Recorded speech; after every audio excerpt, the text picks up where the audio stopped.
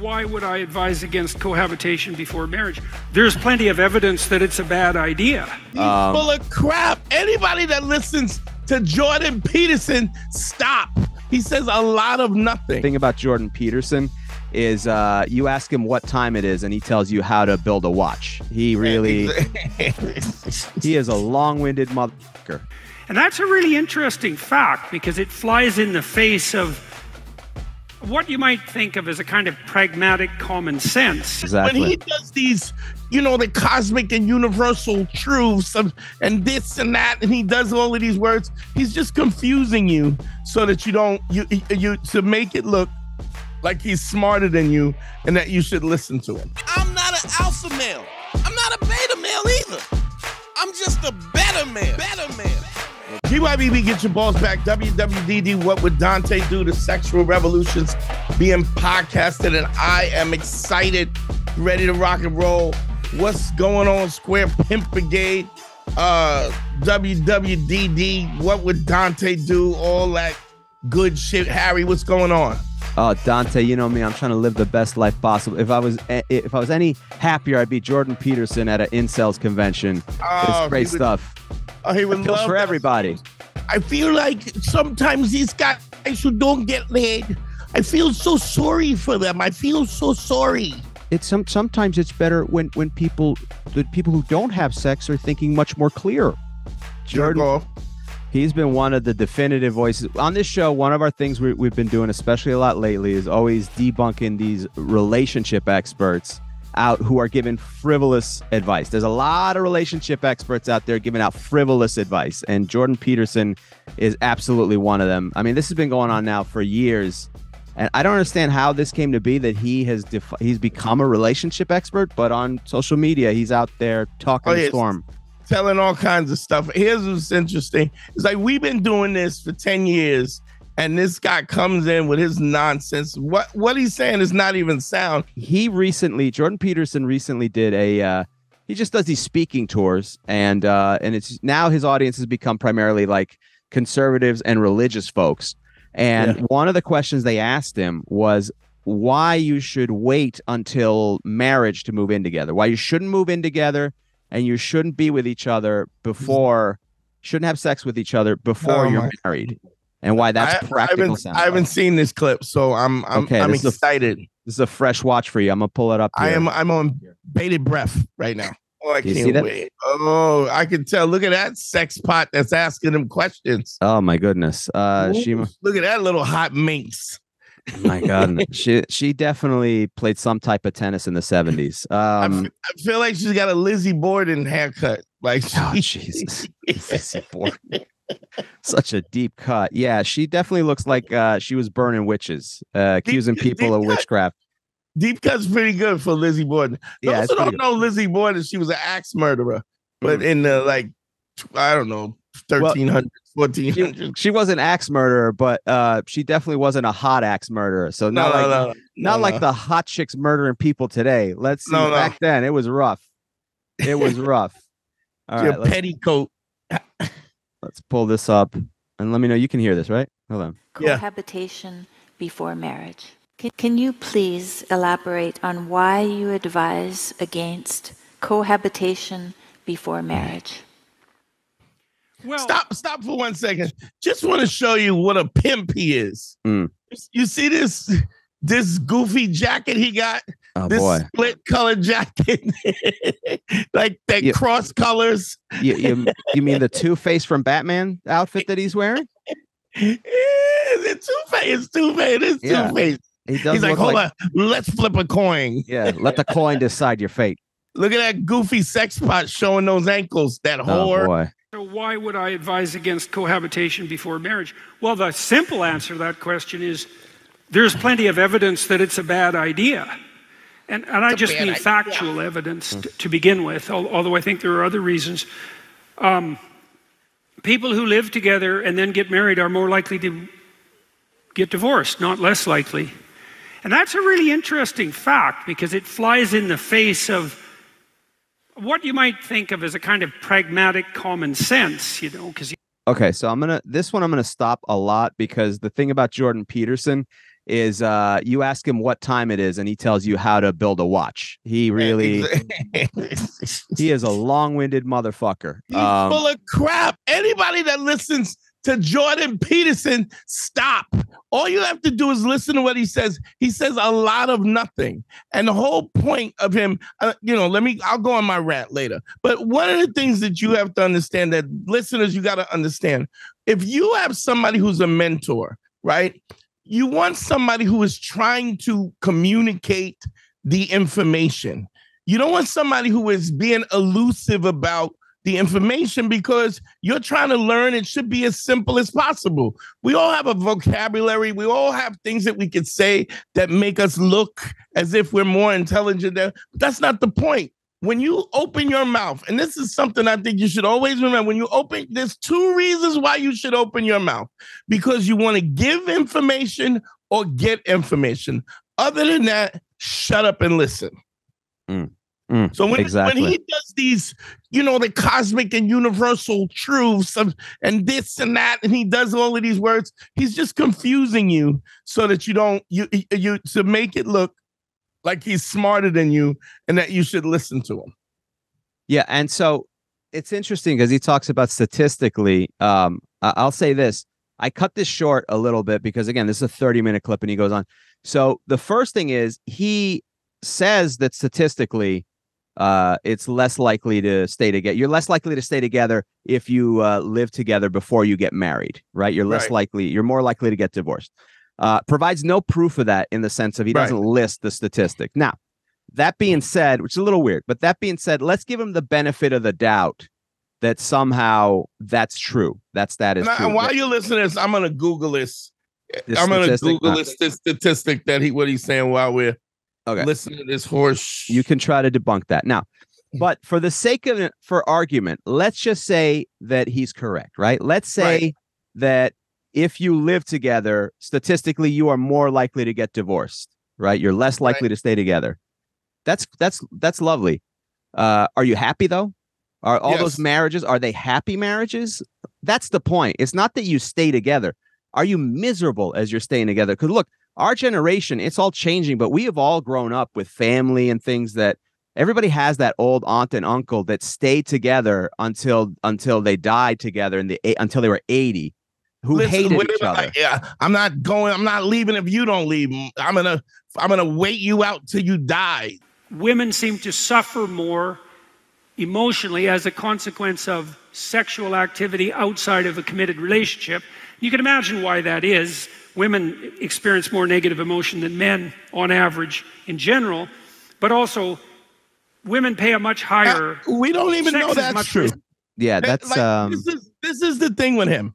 He states these facts, and because he's got a two tone suit, right? We're supposed to believe that that what he's saying is true. We don't know that to be the case. Now here here's an interesting thing.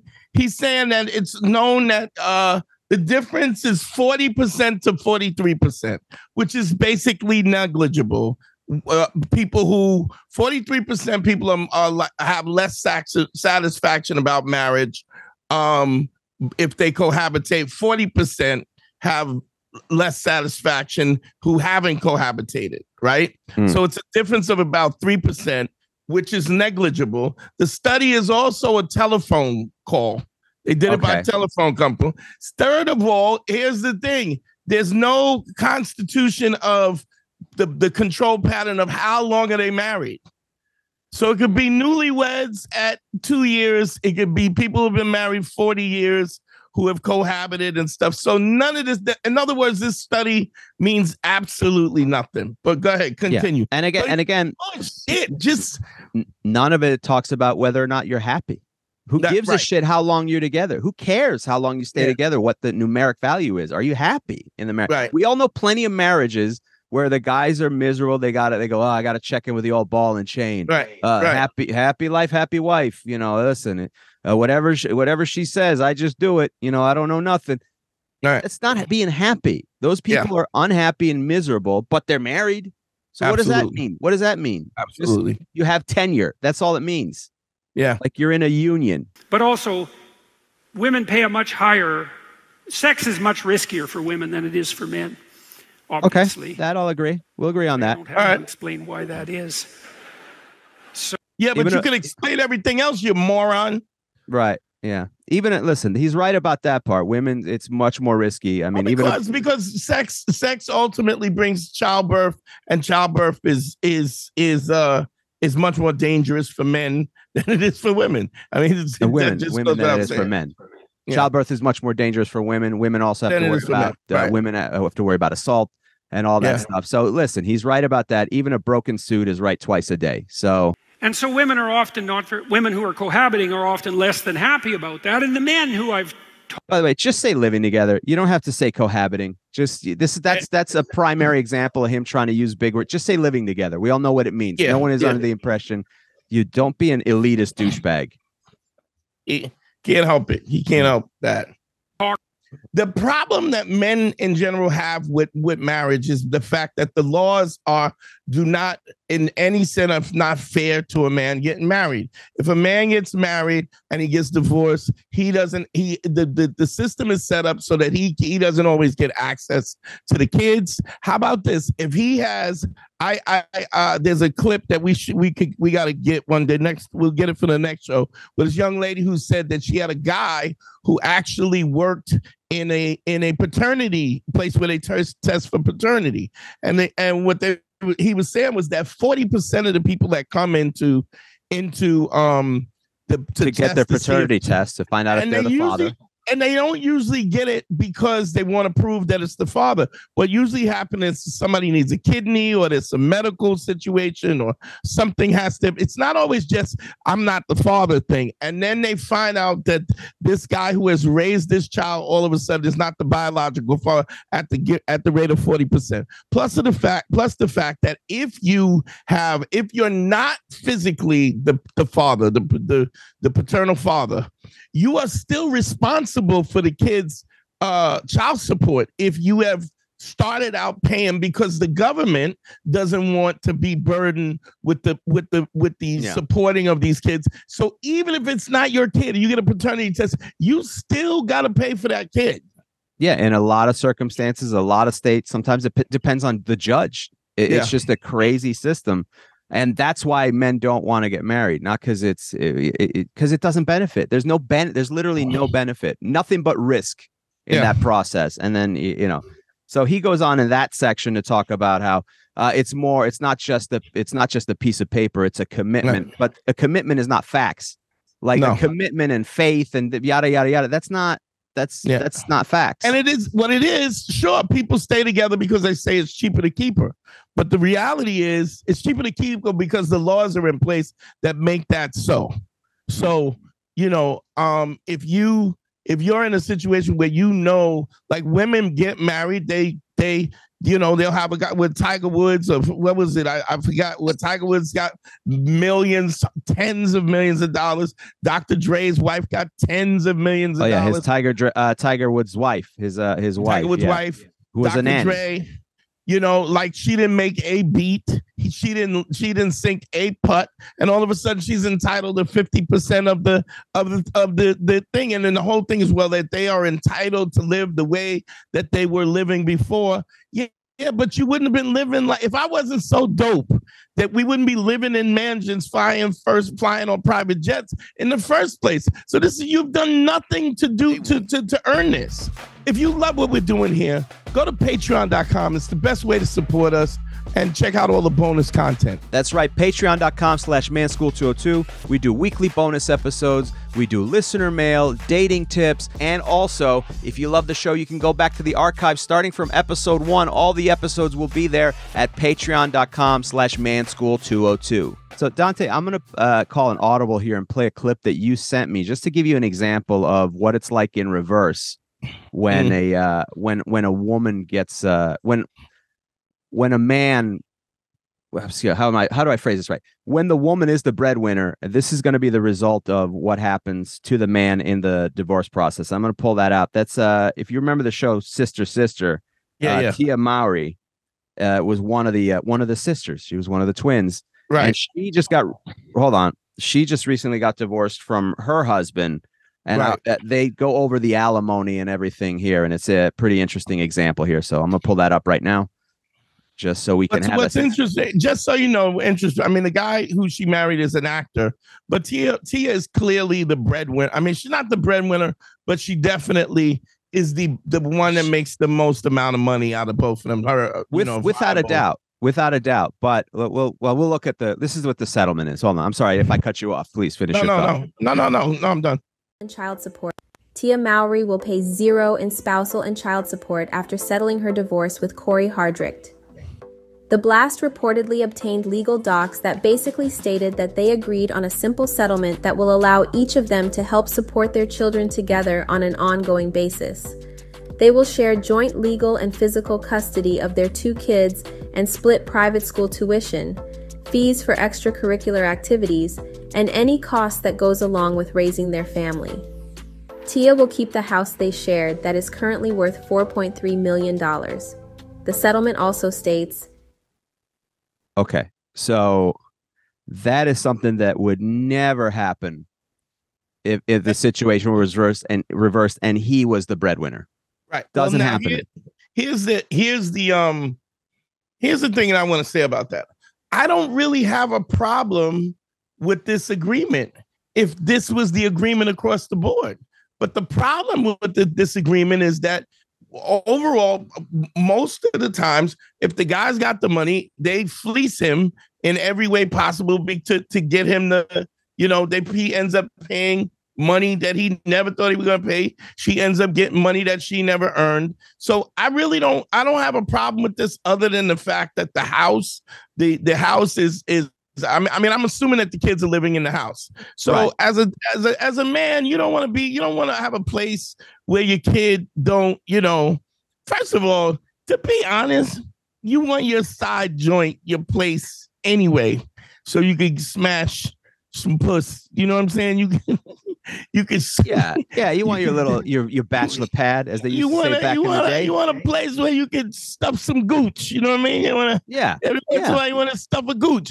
So I get that, but but also the equity of the house should be split, or there should be something compensated for the four point three million dollars of equity. If you're gonna split it down the middle and both of y'all gonna take care of the kid, I have no problem. with The problem is when the shoe is on the other foot. it just never ends, ends up never that way now i've heard also when i did the research suppose there was a prenup and that's all well and good Right. But look at what's going on with uh, Tyrese, who's Yeah. been who's out there crying on camera because he has Right. a prenup, and she's still going after him with a lawyer Yeah. For more money. child support, and it's just never the other way around. But this is the example of why dudes do not want to get married. They just It don't. has nothing to do with Jordan Peterson and his two tone soup No. and this nonsense that is he's talking about, and these cases and these studies that he's he's quoting. Inside this is all it's all real. This is and this is one of the critiques that I've always had about Kevin Samuels, and got no name above his. But uh, Our Lord and Savior Kevin Samuels. No name about that name. No name about that uh, name. but what one of the things is that he's dealing with the hard facts of the situation. He does deal with the logic, hard facts, and the statistical mm-hmm. differences. What he's not addressing is that relationships are not hard facts. People don't hook up based on a contract. They don't they don't hook up based on it's not like we need to there's no standard rating of how hot you are compared to how much money. I mean, this is all arbitrary. And what happens, moreover, because emotion is is an aspect of the relationship, none of it is is as cut and dry as as what he would say it is. Hmm. And that is my critique. That is my one of my critiques. Now, I don't I don't deny that uh that what you call it that that Kevin Samuels is right about his statistical No, he's very uh, accurate. His stats are very accurate. And his information is accurate and that perspective is accurate, but he Sure. never did any didn't anything didn't do anything to fix any of that. Just Right. said it was broken, never offered solutions. never no answers and and never dealing with the fact that dog i had a guy call me today to Hmm. this morning today i got a did a consultation this morning and the guy told uh basically he was dating this girl she said she had a boyfriend he goes you know we could just be friends. So all of a sudden he starts liking her and then he decides he don't want to be friends with her no more. Why? Because he don't want to be friends with her because why because he doesn't want to Did I did I make a phone call to you from uh from 1998? Is this sounds like something I would all the shit I would have done in high school. You did. You did. This sounds he- exactly like me. Was it a little fat kid uh, with a with a crew cut? No, And a wrestling actually, it was this skinny Mexican kid. So that's Sorry, I just want to make sure. All right, but friend zone. goes sorry. to show you. So, but he, but he also was like, she has a boyfriend. She says, "Oh, we can hang out, such and such." But then he all of a sudden decided that he liked her, and because he liked her, he said, "Listen, I, I really can't be friends with you because I like you, and I, I don't want to. You know, it's it's it's torture for me to hang out with you when when I know that I like you like this." And then he called me up because he felt guilty. He felt guilty because of the fact that he didn't want to be friends with her anymore. And, and I'm like, Ah, man. what? I mean, what are we? You I've know, been there. I've been there. I'm not. I'm not trying to make fun of this dude because I've been there. I was that guy, and you're because when you're a nice person, you have empathy for other people, even when they have zero empathy for you. It's it's astounding. and I'm not saying that she had zero empathy for him. I'm not even saying I'm not even getting into that. Maybe we, I, I could get into that, but the point is that his he, he was like, you know, I just feel like I played myself, and I I told her that we were gonna be friends, and now we're not friends, and. Uh, yeah, and, and I was like, "Yo, you could change your mind." Just say, I, I said to him, "Now, let me ask you something. If tomorrow she decided that the guy that she's dating is not because basically you have become, in case emergency, break glass, dude. You hmm. you have become the emergency dude. You know that you can change your mind anytime you want to. That's the great thing because if this woman does, if this woman she's got her boyfriend, and all of a sudden she decides that this dude who's who's the friend zone dude is not uh is not a uh, no if her man is no longer a viable entity for whatever reason and she wants to exercise her options she will. She will cut him off and she will call my, call one of my clients up and say yo let's give it a shot. And and that will be just and, and her excuse i mean not that she owes anybody an excuse but she'll be able to say hey yo this is i this is how i feel. This And I- is And I'll and I'll say this for a guy who's had to learn how to stop being the nice guy. It's not easy, and it does hurt because you have empathy for other people. Mm. But you also have to remember it's no different than if you're raising kids or when you have to make a tough decision. You know, I, I remember there was a relationship, um, but at one point I had to lay down the atomic bomb of everything, like everything that I had. Right. I go, this is it. Either we Right. fix all this now, I'm done with this, this, this, and this, or it's over. Right. And I felt almost sick to my stomach afterwards. Even though I knew logically I was right. And I and it's been better since because of that. And I try to think of it as you know, and I don't know, I you can argue the morality of this, but dropping the atomic bombs in Japan to end World War II. right Like just because we did that and Harry Truman, the president, did that, I I don't know if he was like, yeah, yeah, excited about it.